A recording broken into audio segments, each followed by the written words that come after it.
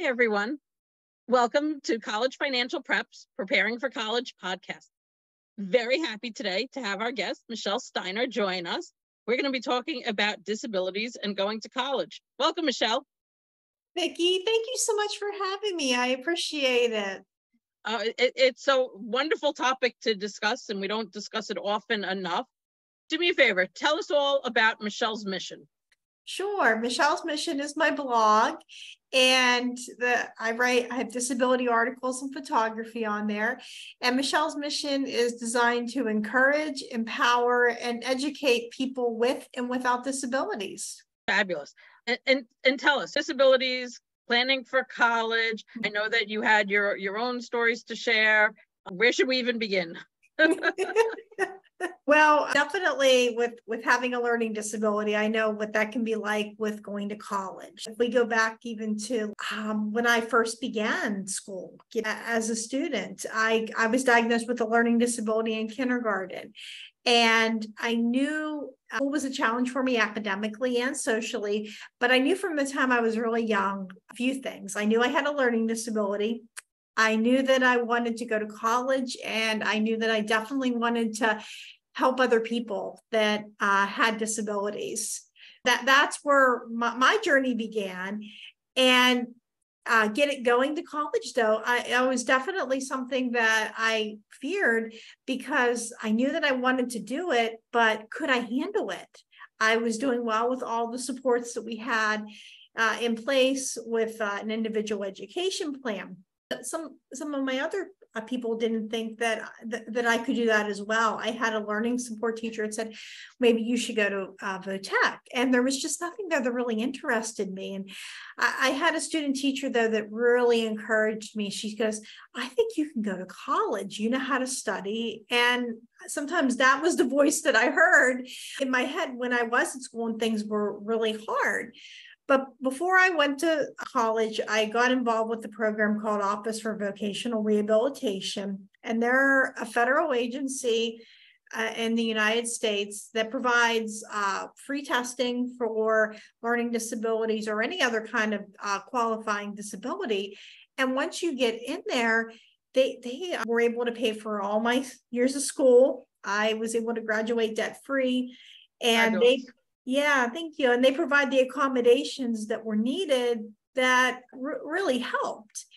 And I can remember even before we went in there, I I also visited. I went to a college fair where they had different schools that provided services because I knew going in I was going to need certain things before I did that. So do me a favor, let me stop you right there. Sure. What type of supports did you have in high school and or even earlier than that and were you able to find the same type of support in college? Well, I then when I was the supports were different. Some of them were the same though. When I first started, I had to repeat kindergarten as a uh, you know beginning with that they i got tested they said okay the next year you're repeating kindergarten and i began to receive specialty services along with kindergarten in a different school and I also began to have some accommodations as well. One of the things that I, I just needed a different way to learn a lot of things. And in the beginning, it was all in the learning support other than kindergarten. And we would uh, do specialty instruction to help me learn how to read and to write. Um, we attempted to learn how to do math, but never really got far with that. and I remember being really frustrated. And eventually, though, the services started to work, and we found out, oh, she can read, she's able to write. We can put her in some regular ed classes for reading and science and social studies. And I began to have some of the accommodations that I would see at college, having extended test time. I had a test read aloud to me. And when I went to college, though, I didn't have an individual education plan, but I had um, a service plan that was in place because I, uh, when I had to get retested for having one, uh, sure enough, it came up that I had a learning disability and some other things that were going on too. And I had, I carried on with having extended test time. When I used them, I didn't use them initially, and that that was not a great choice to make. But uh, when I did use them, it was extended test time. I also uh, at university had a note taker. I had uh, tutoring when I needed it. I also had scheduling where I could schedule before other students did, priority scheduling. What did you have to do to get all of these services in place at the college you attended? I had to be tested to have uh, have a, a disability, and that oh, was by the college. By the college, yes. That huh. well, that was with OVR. They sent me to have a psych eval with with the psychiatrist, and it was a full day of testing.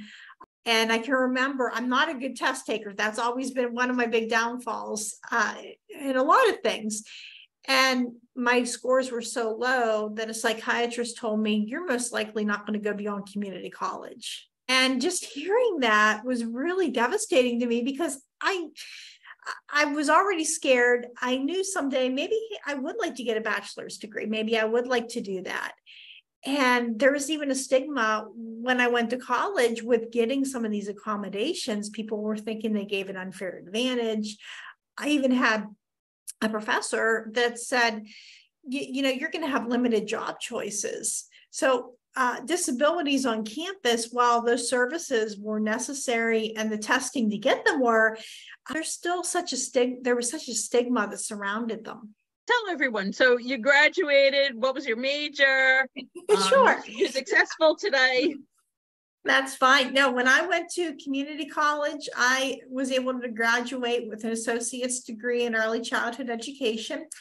I moved out on my own and I worked in some centers, but I always wanted more for myself. And financially, uh, I had uh, to move back in with my parents, and the job I was at downsized. I thought this is the time to go back to university, and I majored in community programming for Americans with disabilities, and that's the service end of special education. They, they call it transition specialist now, a little easier for people to understand what you may be doing and I was able to get a bachelor's degree and, and, be able to do a lot better when I used the services. Fabulous. So what would you recommend to parents that, you know, have children that are, you know, in, in middle school, high school, you know, and they're thinking about, you know, can my child go to college? I would recommend for a lot of parents to start looking at the transition services um, and, and, find out what their child wants to do. I know I worked with worked with seventh graders last year, and we would start to fill out the paper and they're like, well, I don't know what I want to do. And we're like, well, nothing's set in stone, but we're just trying to get an idea of what you like because we might have a student that says, I want to go to college. And we can think, okay, what are the best ways to support you in doing this?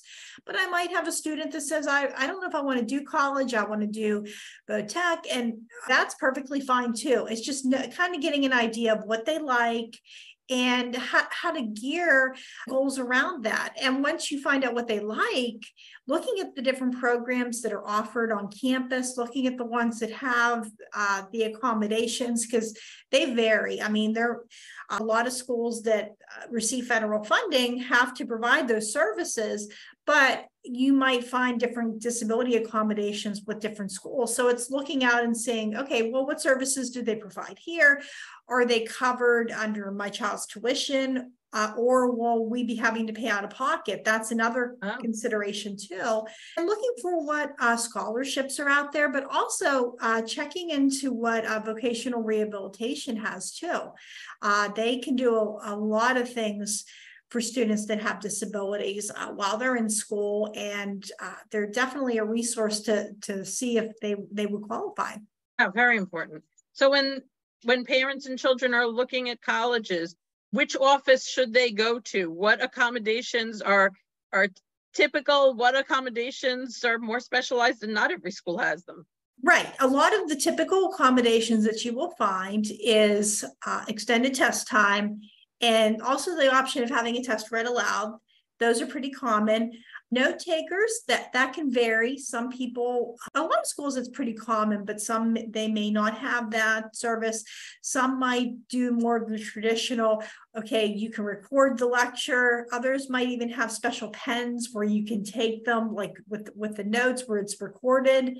Some schools have it where they do that. Other ones do the traditional method of you have somebody in the class that um, take notes. That's what we did when I was in, in college. Other schools might have things if someone's visually impaired, they might have like some things that can magnify objects like that. Uh, tutoring might be available at some places uh, or extra or special ones. Sometimes there's even schools that might even have a transition program to see if college is right for you, where you can audit classes for the first couple of years. And some just have a disability program. And some of the an important thing to remember with those, they may not necessarily count towards a credit with a major, but they can get their feet wet and see, okay, is this what I want to do? Or is it better to go somewhere else? Some schools are just for students with disabilities, and other ones they have the, the, programs on campus. And, and the thing that you want to look, parents want to look for is office for students with disabilities, diversity office. I mean, there's a lot of different names or even disability accommodations and just see what's out there. Fabulous. So informative. I'm going to thank you so much for joining us today. That was really great and helpful. Wow. Do me a favor. How can everybody get in touch with you? You can find me at my blog, michellesmission.net, and I'm on Instagram and Facebook as well. And in addition to college, what types of things do you talk about on your blog? I talk about life with a learning disability, and I use a lot of metaphors to describe that. Uh, nature is an important thing. I'm not able to drive because of my visual perception. Uh, it's in my brain, not in my eyes, but I'm able to uh, capture details in photographs. So a lot of times I put up photography as well. And I have a little store on my blog that people can get notebooks and journals. And I even have a forum where people can uh, discuss disability related topics. Fabulous. Thank you so much for being with us today. From College Financial Preps, Preparing for College podcast. Thanks, Michelle. Take Thank care, you. everyone. You too.